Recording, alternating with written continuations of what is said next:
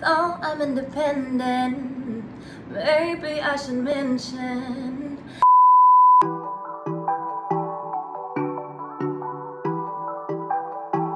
Hi guys, my name is Riley and I am a musician. Some of you might know me as Sandra from the Sam Willows and as my solo name, I decided to just go with Riley with two R's. Why?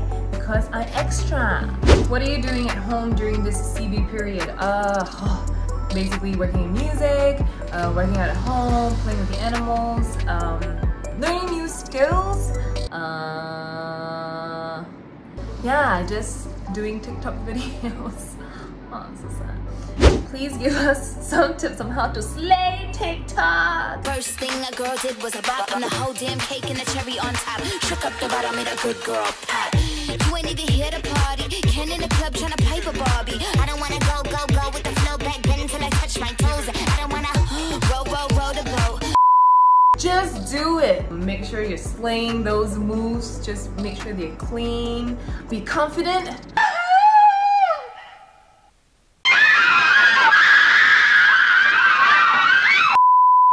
And don't be afraid to just try and make sure that the transitions are smooth and uh, everything's on time. Just have fun.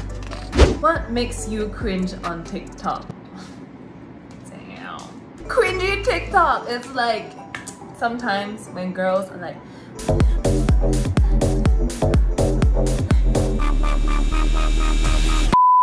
no hate though. I mean, you do you. You want to be cringe? Be cringe.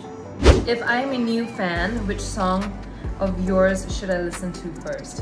Um, I would say Burn because um, that was my first solo release and um, I think it's a good introduction to who I am as a solo artist. So go listen to it on Spotify and YouTube and everything and Apple Music and iTunes and all that stuff. Recommend some songs and artists to listen to that will help make the day better. One of my favorite songs right now is Sunday Best. I promise you, when you put it on, listen to the whole song, not just the 15 seconds from TikTok, but it's a really good song and it just such a feel-good song, you know? Feeling good. Hey, every day can be a better day despite the challenge. Can you sing us a part of any song with Nacho, please? I didn't get Nacho. One second.